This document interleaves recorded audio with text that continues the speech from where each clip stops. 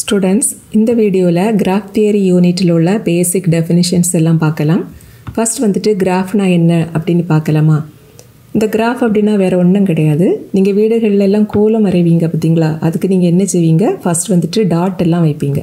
That is புள்ளி வச்சுட்டு அதுக்கப்புறம் இந்த புள்ளி எல்லாம் லைன்ஸால் கனெக்ட் பண்ணி கோலம் போடுவீங்க. அதுதான் கிராஃப் அண்ட் இந்த கிராஃப் தியரியில் இந்த பாயிண்ட் இருக்குது பார்த்தீங்களா? இந்த பாயிண்ட் எல்லாம் நம்ம வர்டெக்ஸ் அப்படின்னு சொல்லுவோம். அல்லது நோட்ஸ் இப்படியும் நம்ம சொல்லலாம்.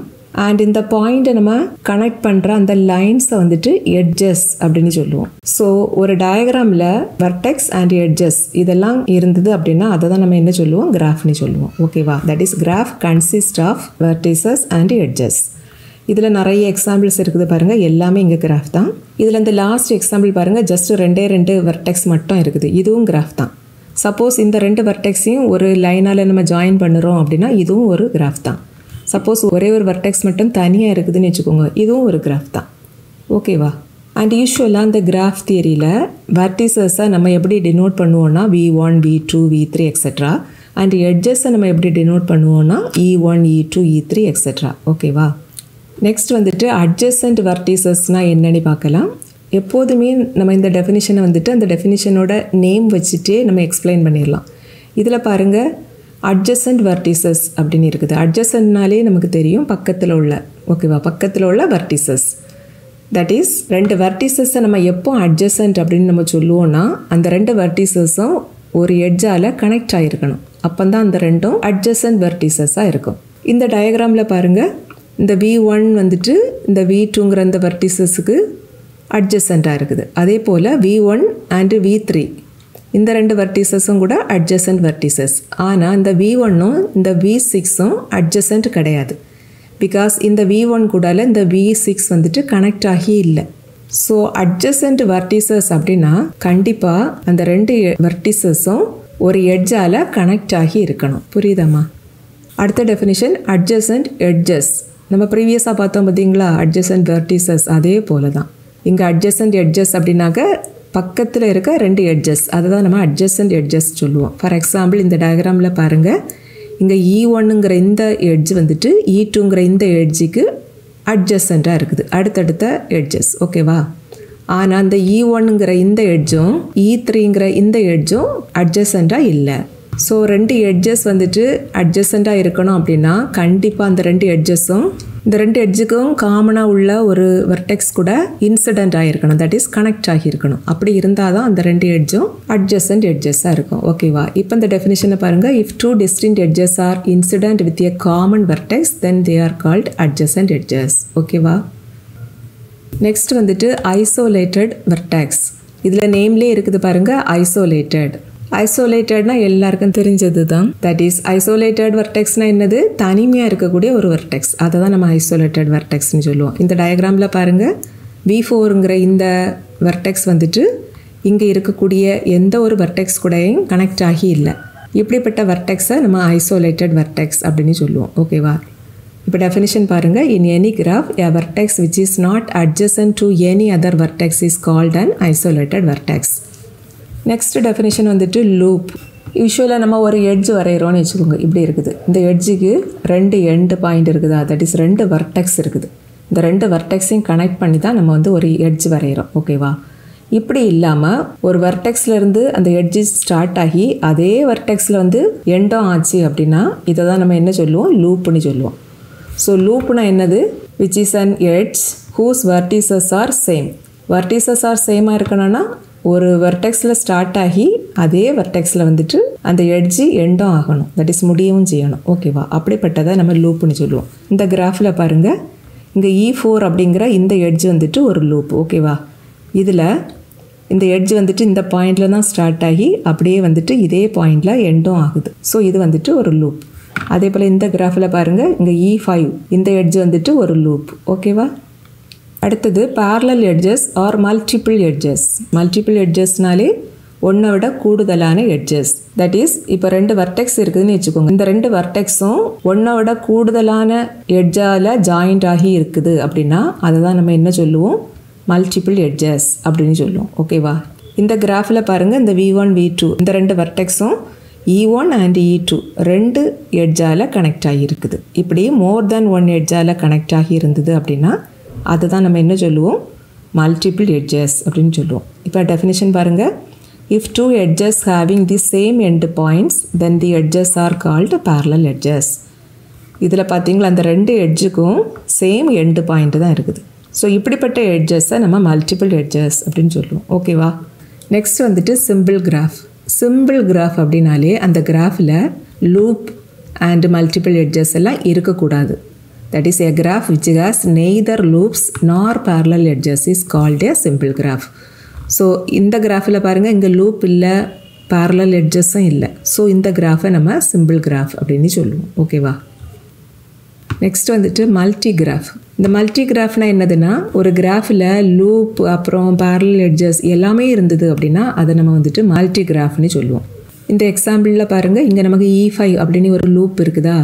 அண்ட் இங்கே E two and E three இந்த ரெண்டும் மல்டிபிள் எட்ஜஸ் ஸோ இந்த கிராஃபில் மல்டிபிள் எட்ஜஸ் இருக்குது லூப் எல்லாம் இருக்குது. ஸோ இது வந்துட்டு ஒரு மல்டி கிராஃப் ஓகே நெக்ஸ்ட் வந்துட்டு directed graph or digraph and directed graph அப்படின்னா நேம்லே இருக்குது டைரக்டட் தட் இஸ் ஒரு கிராஃபுக்கு டைரக்ஷன் எல்லாம் கொடுத்தோம் அப்படின்னா அதுதான் டைரக்டட் கிராஃப் அல்லது டயக்ராஃப் இந்த கிராஃபில் டைரக்ஷன் எல்லாம் இருக்குது பாருங்கள் எங்கே ஸ்டார்ட் ஆகுது? வி ஒன்லேருந்து ஸ்டார்ட் ஆகி வி டூக்கு போகுது. தென் வி டூலேருந்து வி த்ரீ வி த்ரீலேருந்து வி ஃபோர் தென் வி ஃபோர்லேருந்து வி ஒன் இந்த டைரக்ஷன் எந்த டைரக்ஷனாலும் இருக்கலாம். ஏதோ ஒரு டைரக்ஷன் எல்லா எட்ஜுக்கும் கொடுத்துருந்தாங்க அப்படின்னா அதை நம்ம வந்துட்டு டைரக்டட் கிராஃப்னு சொல்லுவோம். ஓகேவா நெக்ஸ்ட் வந்துட்டு கம்ப்ளீட் கிராஃப் இதை நம்ம நேம்ல இருந்தே சொல்லிடலாம் கம்ப்ளீட்னாலே என்னது? ஒரு கிராஃபில் உள்ள எல்லா பேர் ஆஃப் வெர்டெக்ஸும் ஜாயிண்ட் ஆகி இருக்கணும். தட் இஸ் கனெக்ட் ஆகி இருக்கணும். ஃபார் எக்ஸாம்பிள் ஒரு கிராஃபில் ரெண்டு வெர்டெக்ஸ் இருக்குது அப்படின்னா அந்த ரெண்டு வெர்டெக்ஸும் கனெக்ட் ஆகி தான் இருக்கணும். இது வந்துட்டு ஒரு கம்ப்ளீட் கிராஃப் சப்போஸ் மூணு வெர்டெக்ஸ் இருக்குதுன்னு வச்சுக்கோங்க. எந்த ரெண்டு வெர்டெக்ஸ் பேர் எடுத்தாலும் அது கனெக்ட் ஆகி இருக்கணும். அப்படின்னா தான் அது கம்ப்ளீட் கிராஃப் இப்போ பாருங்கள் இதில் எல்லா பேர் ஆஃப் வெர்டெக்ஸும் கனெக்ஷனில் இருக்குது. ஸோ இது வந்துட்டு ஒரு கம்ப்ளீட் கிராஃப் அண்ட் இங்கே பாருங்கள் இது வந்துட்டு ஃபோர் வெர்டெக்ஸ் உள்ள கம்ப்ளீட் கிராஃப் பிகாஸ் இதில் இருக்கக்கூடிய ஒவ்வொரு வெர்டெக்ஸும் ரிமைனிங் இருக்கக்கூடிய எல்லா வெர்டெக்ஸ் கூடயும் கனெக்ட் ஆகி இருக்குது தட் இஸ் எந்த டிஃப்ரெண்ட் பேரை நீங்கள் எடுத்தாலும் எல்லாமே கனெக்ட் ஆகிருக்கணும் அதுதான் நம்ம கம்ப்ளீட் கிராஃப்னு சொல்லுவோம். ஓகேவா அண்ட் இதில் பாருங்கள் இது வந்துட்டு ஃபைவ் வர்டெக்ஸ் உள்ள ஒரு கிராஃப் இதில் இந்த வி ஒன்னுங்கிற இந்த வர்டெக்ஸ் வந்துட்டு ரிமைனிங் இருக்கக்கூடிய இந்த ஃபோர் வர்டெக்ஸ் கூடயும் கனெக்ட் ஆகி இருக்குது. அதே போல் வி டூங்கிற இந்த வர்டெக்ஸை நீங்கள் எடுத்துக்கிட்டிங்கன்னா இந்த வி டூங்கிற வர்டெக்ஸ் வந்துட்டு ரிமைனிங் இருக்கக்கூடிய four vertex V one V five V four V three இந்த நாலு வர்டெக்ஸ் கூடாலையும் கனெக்ட் ஆகி இருக்குது. இதே போல தான் எல்லா வர்டெக்ஸும் ரிமைனிங் உள்ள எல்லா வெர்டிசஸ் கூடாலையும் கனெக்ட் ஆகி இருக்குது. இங்கே வந்துட்டு எல்லா டிஃப்ரெண்ட் பேர் ஆஃப் வெர்டிசஸும் கனெக்ட் ஆகி தான் இருக்குது. ஸோ இது வந்து ஃபைவ் வெர்டிசஸ் உள்ள ஒரு கம்ப்ளீட் கிராஃப் அண்டு கம்ப்ளீட் கிராஃபை ஜெனரலாக கேஎன் அப்படின்னு சொல்லுவோம். என்னங்கிறது நம்பர் ஆஃப் வெர்டெக்ஸ் இப்படி ரெண்டு வர்டெக்ஸ் கனெக்ட் ஆகி இருக்குதுன்னு வச்சுக்கோங்க. இதில் ரெண்டே ரெண்டு வர்டெக்ஸ் தான் இருக்குது. ரெண்டுமே கனெக்ட் ஆகி இருக்குது. ஸோ இது வந்துட்டு கே டூ ஓகேவா இது வந்துட்டு மூணு வெர்டெக்ஸ் உள்ள ஒரு கம்ப்ளீட் கிராஃப் ஸோ இதை நம்ம வந்துட்டு கே த்ரீன்னு சொல்லலாம். இது வந்துட்டு ஃபோர் வெர்டிசஸ் உள்ள ஒரு கம்ப்ளீட் கிராஃப் இதை நம்ம கே ஃபோர் அப்படின்னு சொல்லுவோம். அண்ட் இது வந்துட்டு ஃபைவ் வெர்டிசஸ் உள்ள ஒரு கம்ப்ளீட் கிராஃப் ஸோ இதை நம்ம வந்துட்டு கே ஃபைவ் அப்படின்னு டெனோட் பண்ணலாம். ஓகேவா? நெக்ஸ்ட் வந்துட்டு பை பார்ட்டேட் கிராஃப் இதுவும் நேமில் இருந்தே நம்ம டெஃபினிஷன் எழுதிடலாம். பைனாலே என்னது? ரெண்டு. பார்ட்டேட்னா ரெண்டு பார்ட்டிஷியனாக பிரித்து கிராஃப் வரைகிறது ஃபார் எக்ஸாம்பிள் இங்கே கொஞ்சம் செட் ஆஃப் வர்டிசஸ் இருக்குதுன்னு வச்சுக்கோங்க. தட் இஸ் ரெண்டு வர்டிசஸ் இருக்குது. இன்னொரு சைடில் மூணு வர்டிசஸ் இருக்குதுன்னு வச்சுக்கோங்க. இதை வந்துட்டு வி ஒன்னு வச்சுக்கலாம். இது வி டூ இது வி த்ரீ இது வி ஃபோர் இது வி ஃபைவ் இது ஒரு தனி செட் இது வந்துட்டு அடுத்த செட் இப்போ இந்த ரெண்டு செட் ஆஃப் வெர்டிசஸில் எட்ஜஸ் எப்படி கனெக்ட் ஆகி இருக்கணும்னா இந்த செட் வெர்டிசஸில் இருந்து இந்த செட்டில் உள்ள வெர்டிசஸ் இப்படி தான் கனெக்ட் ஆகிருக்கணும் இங்கேருந்து இங்கே கனெக்ஷன் இருக்கணும். ஓகேவா இது வந்துட்டு ஒரு பைபார்டேட் கிராஃப் இதில் வந்துட்டு எல்லா வர்டிசஸும் கனெக்ட் ஆகிருக்கலாம் கனெக்ட் ஆகாமல் கூட இருக்கலாம். பட் இந்த செட்டில் உள்ள வர்டிசஸ் இங்கே இருக்கக்கூடிய இந்த செட் ஆஃப் வர்டிசஸ் கூட தான் கனெக்ட் ஆகிருக்கணும் சேம் செட்டில் உள்ள இந்த ரெண்டு வர்டிசஸ் கனெக்ட் ஆகக்கூடாது. இப்படி இருந்ததுன்னா இது வந்துட்டு பைபார்டேட் கிராஃப் கிடையாது. ஓகேவா இப்போ இந்த டெஃபினிஷன் பாருங்க.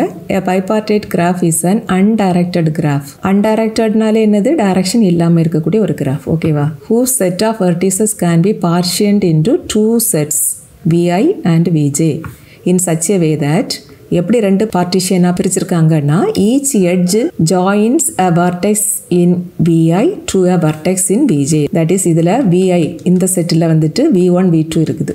அண்ட் விஜே இந்த செட்டில் வந்துட்டு இங்கே த்ரீ வர்டிசஸ் இருக்குது. V three V four and V five and இங்கே எப்படி இருக்கணும்?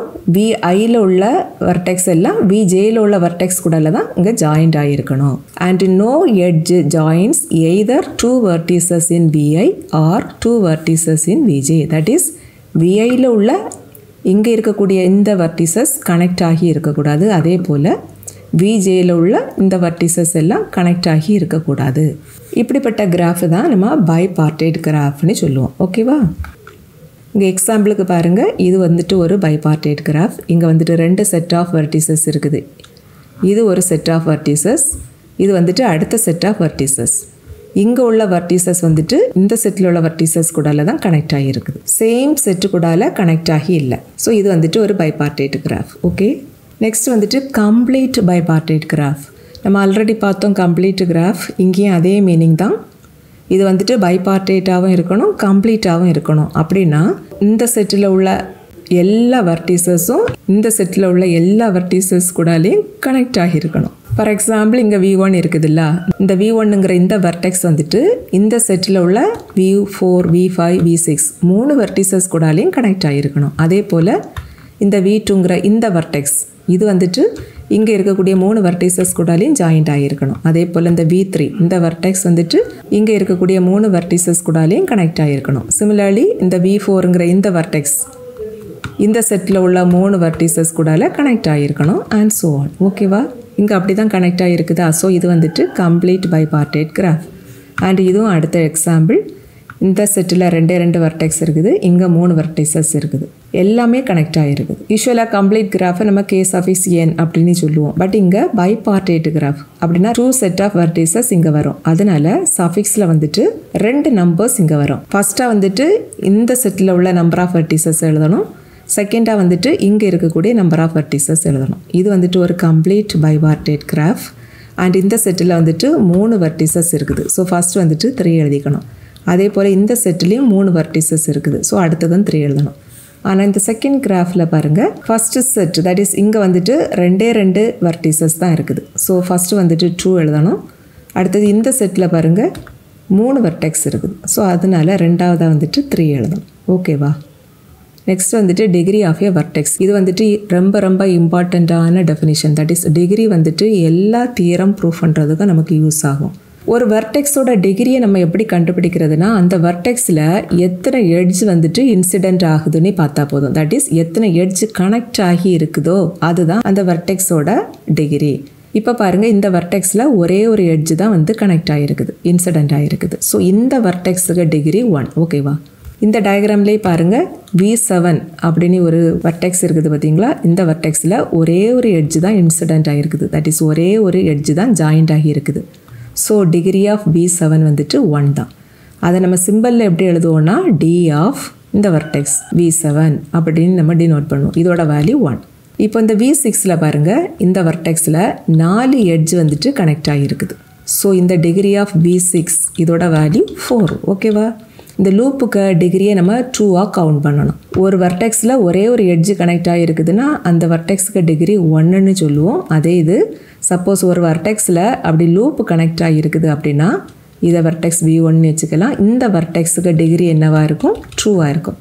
ஓகேவா இப்போ இந்த வி ஃபோருங்கிற இந்த வர்டெக்ஸ் பாருங்கள் இதில் இங்கே ஒரு எட்ஜ் இருக்குது இங்கே ஒரு எட்ஜ் இருக்குது இங்கே ஒரு எட்ஜ் மூணு எட்ஜும் இது கூடால கனெக்ட் ஆகிருக்குது.